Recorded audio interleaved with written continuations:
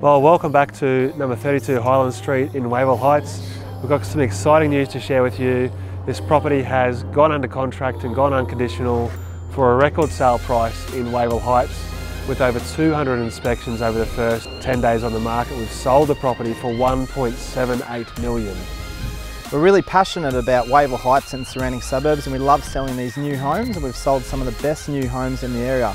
If you'd like some information about what your property may be worth, please contact Matthew Jabs or myself.